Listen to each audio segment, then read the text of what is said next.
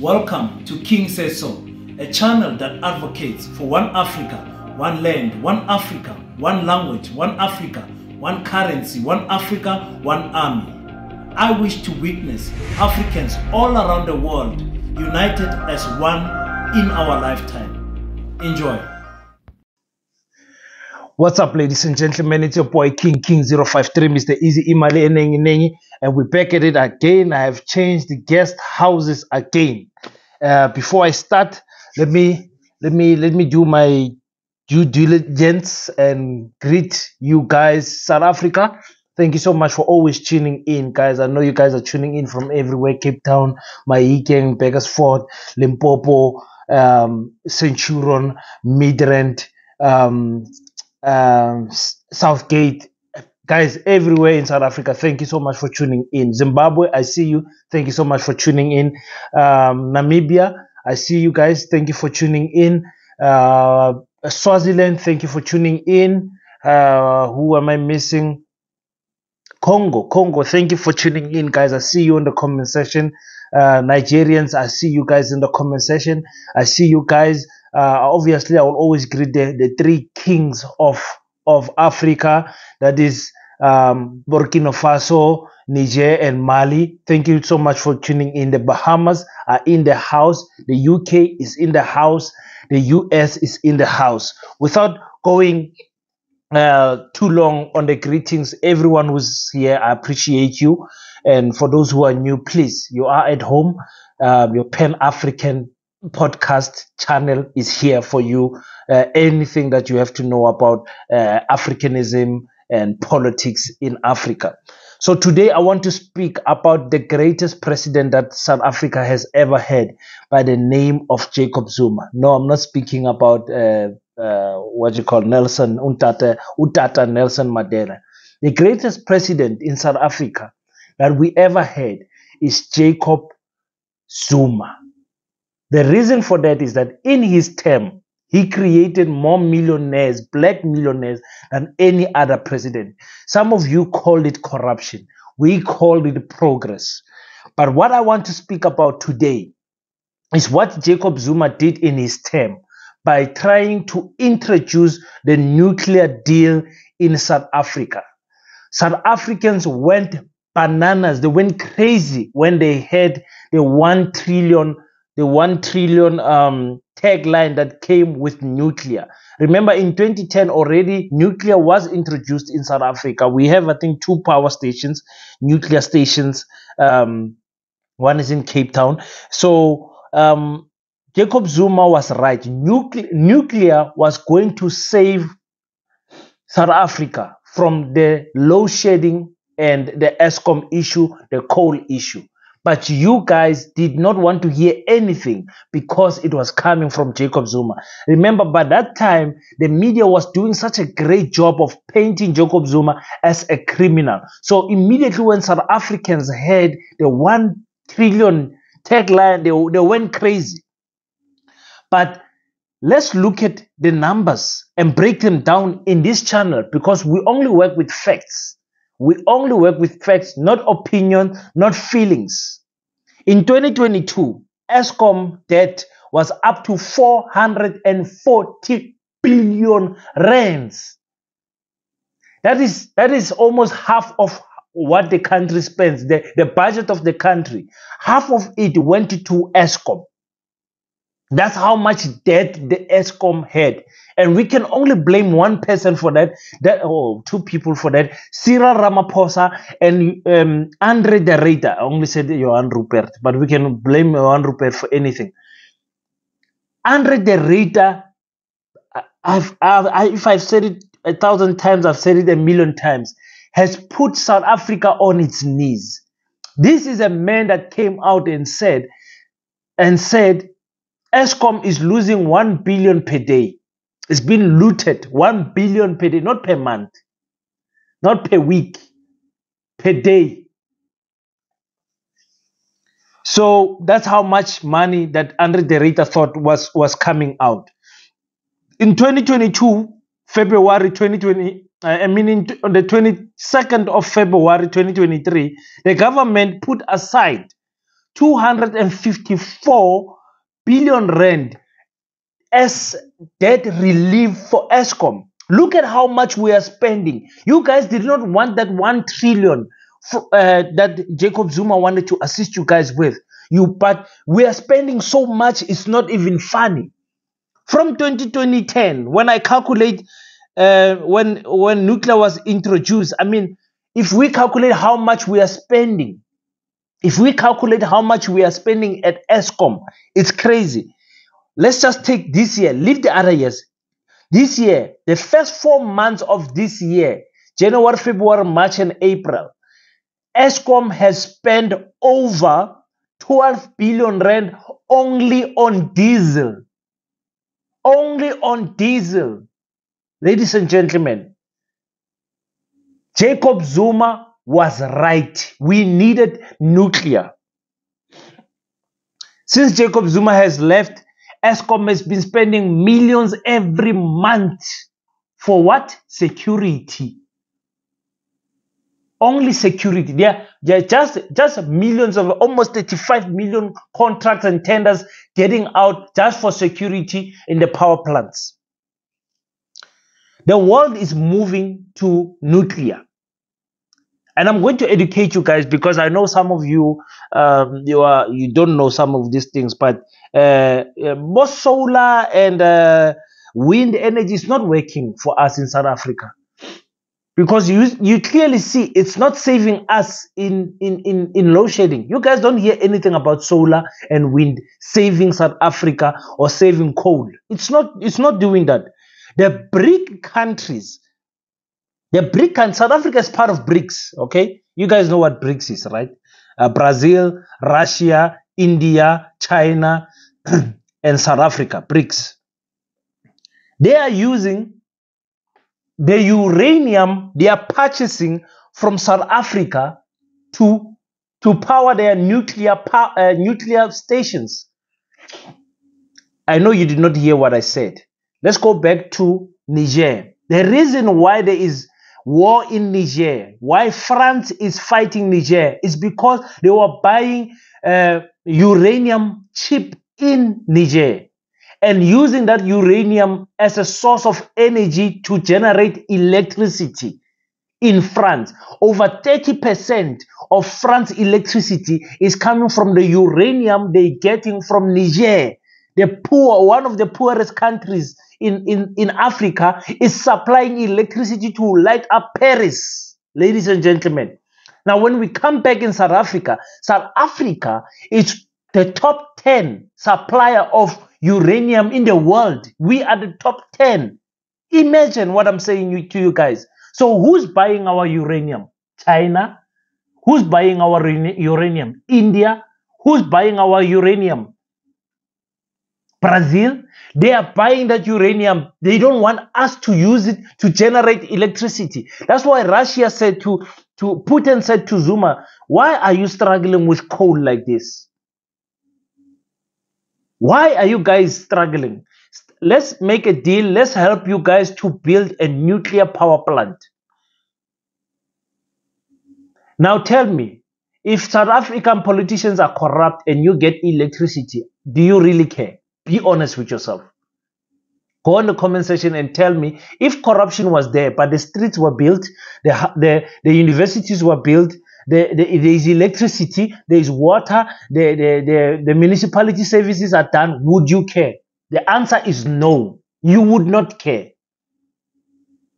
I'm not saying Jacob Zuma was an angel, but I'm saying when he tried to introduce uranium, nuclear power in South Africa, the way we, the media turned it down and used his bad image to make him even look worse. The Guptas want to eat, everything, everyone wants to eat was wrong, ladies and gentlemen.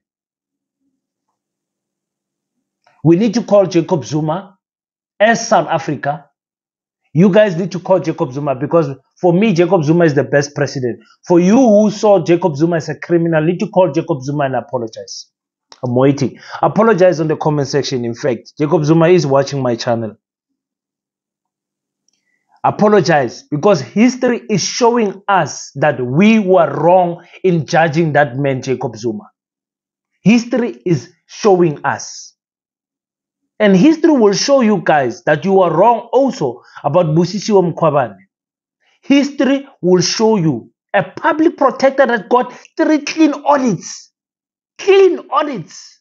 Just because of four or five cases, and on those cases being the Reserve Bank and Sierra, uh, the CR17 campaign, you guys are saying Busisiwe Mkhwebane is one of the worst public protectors and unfit to do a job.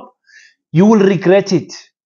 I'm just waiting for them to appoint a new public protector so we can compare notes. But if we take Busisiwe Mkhwebane and Tulima Madonsela, you will see that Busisiwe was 10 times better. They took Zuma to court. You remember that white lady that took Zuma to court? When Zuma was uh, trying to uh, trying to get parliament to sign this nuclear deal, there was a, a white woman mixed with some of these coconuts blacks who ran to parliament, uh, not to court. I think it was the Supreme Court, and they, they, they, they won the case, and it was it was declared unlawful. Let me see if I can play a video right here. Let me see if I can play a video right here, and I'll come back. Stop the nuclear deal! Stop the nuclear deal! There are a number of organizations in this country that if you think that legal action is the only way to stop this corruption, that you will find partners. You know, in the Legal Resource Center, which helped us with the nuclear case, the Center for Environmental Rights also looks at things. There's Corruption Watch. There are lots of NGOs with a bunch of lawyers who can actually get on board. They may have the legal team, but you, they need the backup. They need you to actually go and look for facts and figures and bring it to them. So what we really need is active citizens.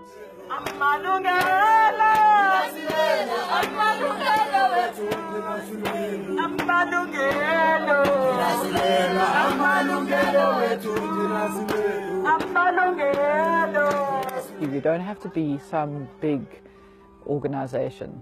Everybody can play a part.